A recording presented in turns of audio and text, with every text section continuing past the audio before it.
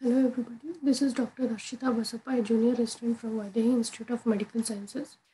And uh, being a part of Tertiary Oncology Center, my topic for today is a retrospective analysis of the peritoneal deposits in the various abdominopelvic malignancies. Peritoneal cavity forms a complex anatomy involving the various spaces and peritoneal reflections or folds the complex anatomy of the peritoneal is well demonstrated by the cross-sectional imaging tool, which includes a CT or MRI. However, the CT forms the first-line imaging tool in any suspected or proven case of various abdominal pathologies or malignancies. The um, peritoneal cavity is divided into two major uh, compartments, that is supramesocolic and inframesocolic.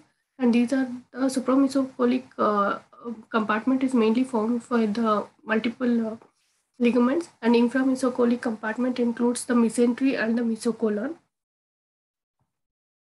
The need for the study is to uh, demonstrate the complexity of the peritoneal cavity and um, the demonstration of the its involvement or um, imaging of its uh, pathologies by the CT as a versatile tool.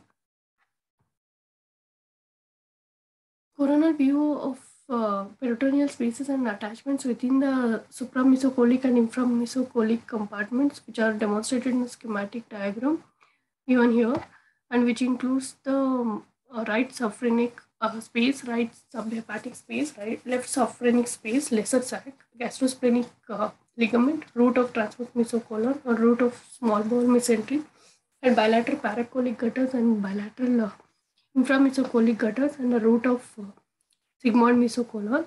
The objective is to demonstrate the incidence of peritoneal uh, involvement in patients with uh, various abdominopelvic malignancies and to demonstrate the various pattern of peritoneal involvement in various abdominopelvic malignancies.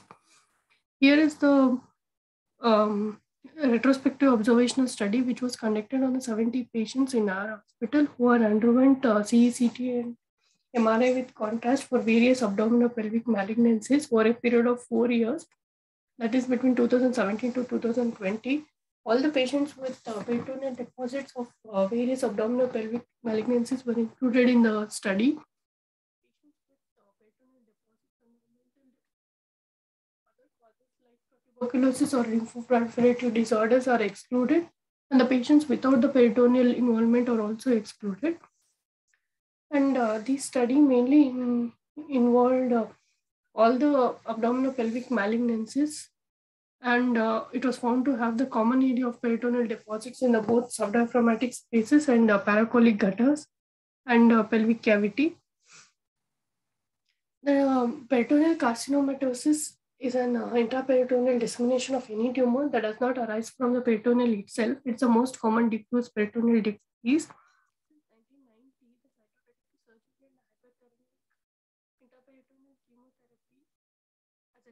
option had made the uh, management of the uh, patients with peritoneal uh, malignancies better because earlier it was thought to be fatal and of uh, poor prognosis. And route of dissemination in peritoneal carcinomatosis includes hematogenous, uh, contiguous, lymphatic, and peritoneal surface by the uh, redistribution by the gravity. The key signs of the peritoneal carcinomatosis can, on the imaging includes the ascites or the greater omental involvement or the invasion of the mesentery, the tumor influence in the peritoneal serous membrane. And peritoneal cancer index is an accuracy of CT in the detection of peritoneal metastasis and the peritoneal deposits are thickening are separately noted on each of the nine segments of the abdomen and pelvis. That involves these nine segments in the coronal image of the uh, abdomen and the pelvis and the upper and mid upper and the lower uh, jejunum and the upper and lower ileum are the other four segments. There are various etiologies of the uh, malignancies arising from uh, various abdominopelvic organs and also extra abdominal organs like uh, breast carcinoma, lungs, and the malignant melanoma plays a role. And database from our study were uh, contributed by the ovarian neoplasm, gallbladder, cholangiocarcinoma, HCC, gastric, pancreatic, colorectal, cervical, and endometrial. Patterns of peritoneal deposits in the form of omental caking, which is demonstrated as diffusely thickened mass replacing the normal omental fat. Cystic masses, which are soft tissue mass with a cystic component. Nodular, enhancing soft tissue nodules. Smudged, increased density or the smart, uh, soft tissue permeation of the omental fat. Mixed variety having two or more of the above features. is very sensitive because it's uh, um, non-ionizing um, and a primary tool and uh, less than two centimeters of the intraperitoneal deposits are always missed and um, um, deposits in along the small bowel mesentery are also missed and uh, the maximum accuracy falls when there is a gross ascites and it also helps in the FNAC or the biopsy of the uh, peritoneal deposits if it's very accessible to the ultrasound. And the CT forms the major imaging tool. MRI, due to its inferior spatial resolution and to the respiratory and the bowel peristaltic uh, artifacts, and uh, um, failed to demonstrate the uh, bowel pathology. The MRI is a um, less uh, preferred imaging tool compared to CT. ct forms the functioning tool and the diagnostic laparoscopy forms the exploratory laparoscopy forms the therapeutic and the diagnostic tool. By biopsy and the FNAC from the direct peritoneal deposits is a short, short diagnostic tool. Uh, ovarian neoplasms usually have a high tendency to implant in the right paracolic gutter and right subdiaphragmatic region.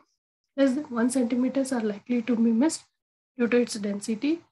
In our database, 17 cases of ovarian neoplasm forms the major majority with a sensitivity of 69% in ultrasound and 87% CT, 70% on MRI when compared with the PET CT or the exploratory laparotomy.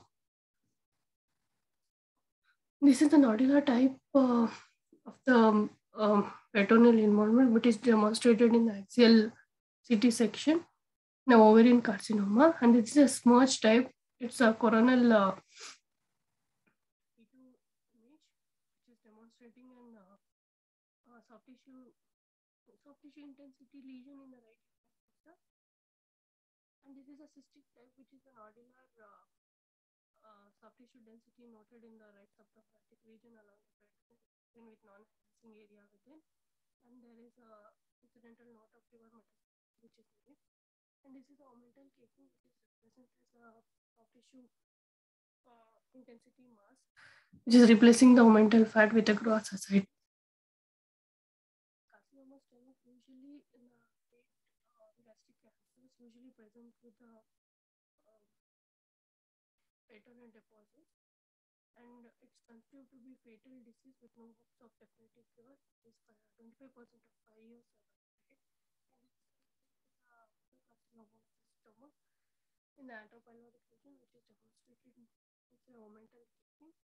And the carcinoma gallbladder, here it presents as an ascites. Omental nodules are the peritoneal Im implants with the intraperitoneal spread. And the patient who underwent uh, exploratory laparotomy had found to have a 24% of uh, peritoneal deposits. However, the pre-operative staging with the CT was found to be 83 to 86% in accuracy. And this is the axial section of the CT, which is showing a nodular soft tissue uh, densities in the omentum. And uh, irregular concentric asymmetrical soft tissues when uh, wall thickening noted in the GB fossa with uh, cholelithiasis and central IHBR. Most common pattern of peritoneal involvement is mixed followed by omental caking, nodular deposit, cystic type, and a smudge type. And ovarian neoplasms usually present as omental caking, followed by a mixed type and a nodular type.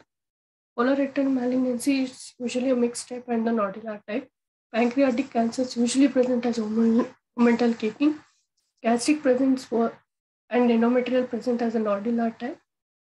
Gallbladder and the cholangiocarcinoma and HCC present as a mixed type and cervical carcinoma present as a nodular or the mixed type. To conclude, the peritoneal involvement in various um, abdominopelvic malignancies, where the majority uh, is contributed by the ovarian or the colorectal carcinoma. However, the mixed pattern of uh, peritoneal uh, involvement is the most frequently seen, followed by omental caking and nodula. The most common site of peritoneal involvement was pouch of Douglas, followed by a paracolic gutters. And these are my references. Thank you.